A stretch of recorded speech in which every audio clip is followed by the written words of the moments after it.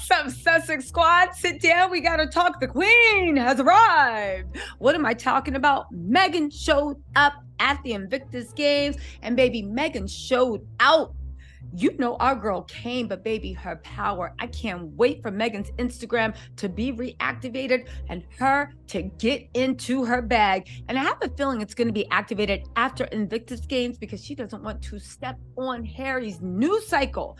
We're going to talk about that, but baby, can we also talk about the people that are trying to tap toe, tap toe all over Harry and Meghan's new cycle like they're happy feet? The only problem is they are making fools of themselves. That's right.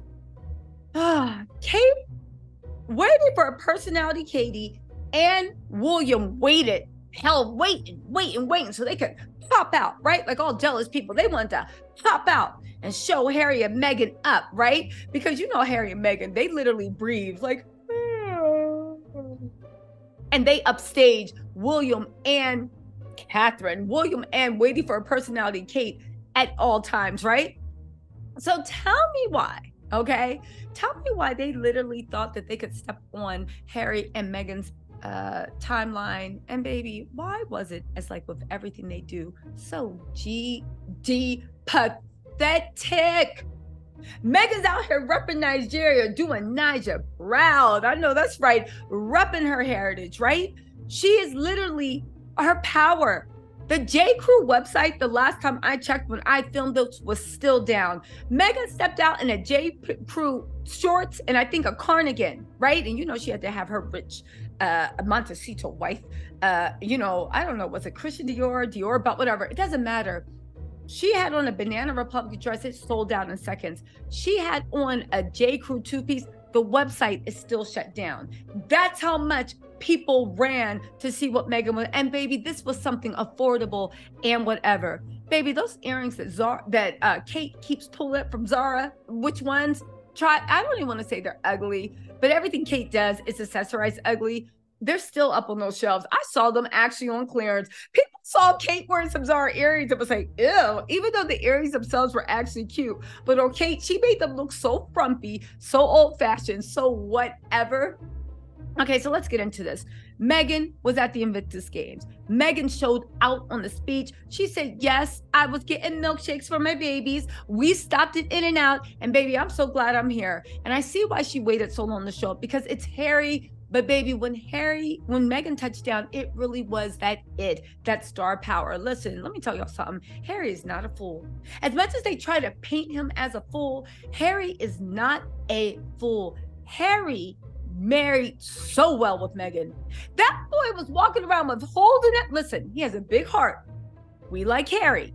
But that boy was literally laying around on pool tables in the buff, making dressing up as third right, making racial jokes about people. Baby, Harry was cutting up. On top of that, he was doing it with holes in his shoe, living in a hobbit's castle. Meghan let him know the way of the world, help him as a boy become a man, let him know the way of the world. On top of that, got that man and Christian Dior down, looking good, hair nicely fluffed. You see how Harry, when he was with William, them was starting to lose, right?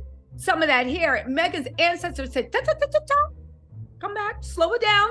It might happen, but baby, it's going to happen at the last possible second. Okay.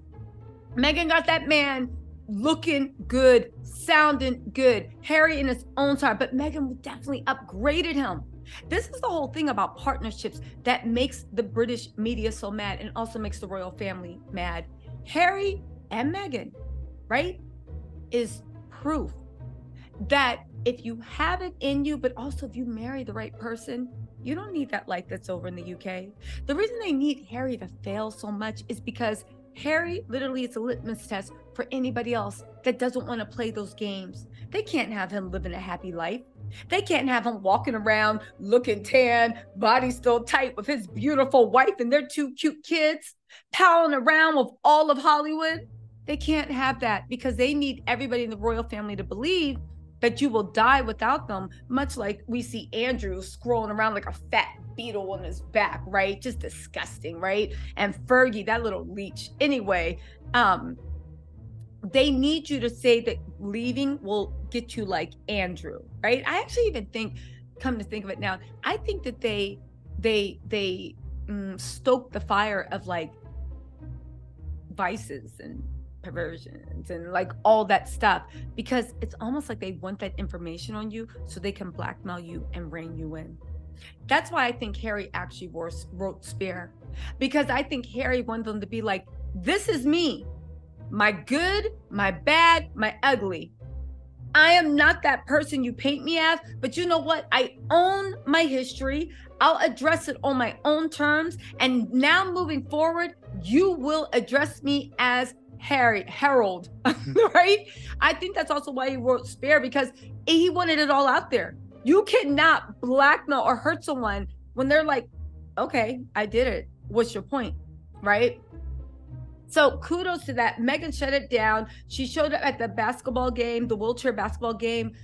Everybody was going crazy over it. I heard even Sussex Squad was there. Go over to Royal Suitor on Twitter. They have all the video. Ara, ara, ara. Now let's talk about the people that really tried to shut things down. Kate debuted with some stupid Mary Poppin wing dust hair. What is wrong with Kate? What?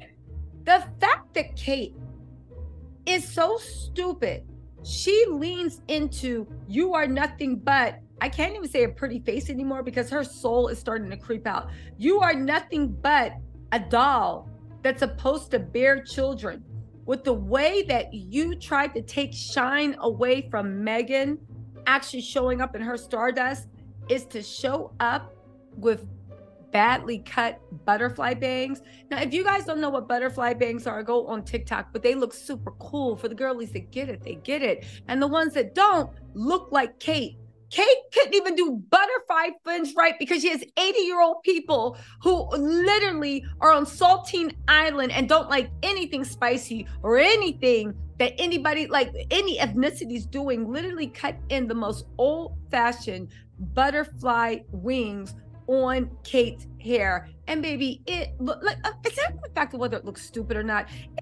Okay. Kate's style is always very old woman to me. She all and no offense, I'm not an ageist. Old woman can look good, right?